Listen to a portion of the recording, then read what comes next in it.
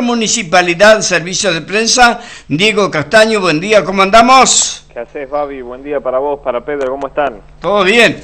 Bueno, me alegro. Comenzamos rápidamente con algo que ¿Cómo no? con la obra de la estación de trenes, eh, que viene avanzando a buen ritmo, ¿eh?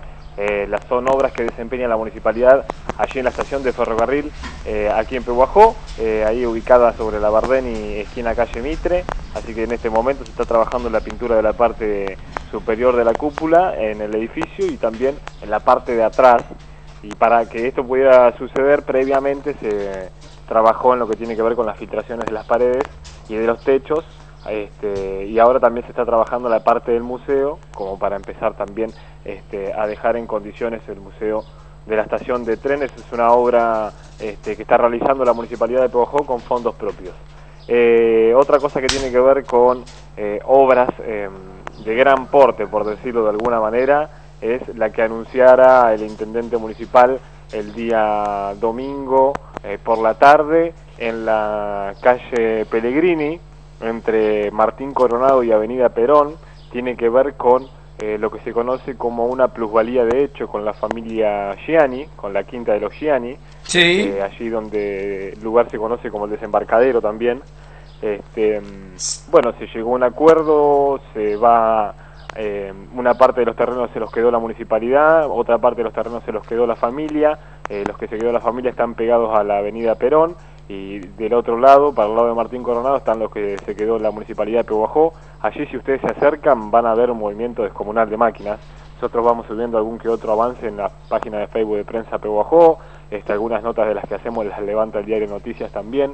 Este, en algunas salen fotos y en otras no, pero lo importante es que en ese sector de la ciudad, en, en, Pellegrini, entre Martín Coronado y Avenida Perón, la municipalidad está desarrollando un plan este, de saneamiento de las zanjas que estaban en ese lugar, como también este, de alteo de los, de los terrenos y obviamente empezando ya a trabajar de lleno en un plan ambiental que prevé no solo el loteo para la construcción de viviendas este, y de terrenos que van a quedar a disposición de la municipalidad para lo que la municipalidad vaya eh, teniendo como necesidad, ya sea construcción de alguna salita de atención de primeros auxilios, algún, algún establecimiento educativo o bien eh, terrenos para viviendas.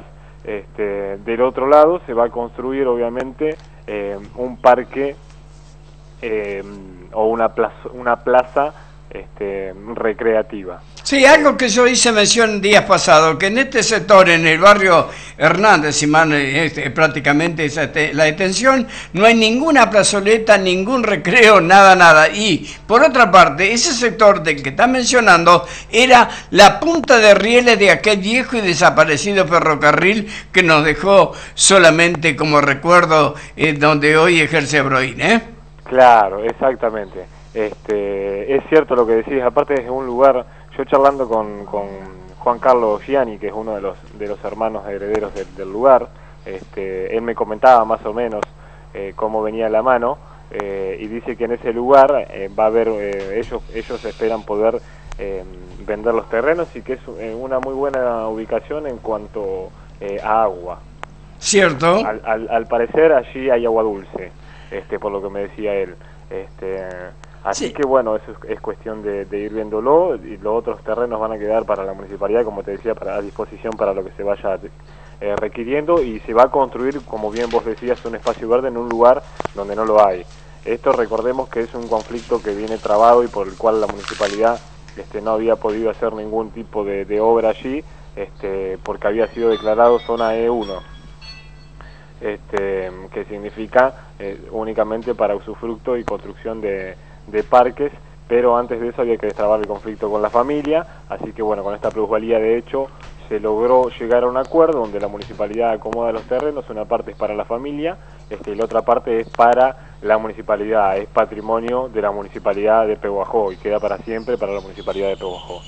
Este, así que bueno, esas son las obras, parte de lo que realiza la Secretaría de Obras Públicas de la Municipalidad de Pehuajó, allí en calle Pellegrini, entre Martín Coronado y Avenida Perón. Diego, te agradecemos muchísimo la participación. Mañana tomaremos otro, otro enganche para dar más precisiones sobre las obras, sobre lo mucho que se está realizando en nuestra ciudad. ¿eh? Bueno, listo. Una última cosita, Sí. Babi. Horarios de verano del Núcleo de Acceso al Conocimiento ubicado en Dian Funes y Garde, allí en el Galpón Municipal.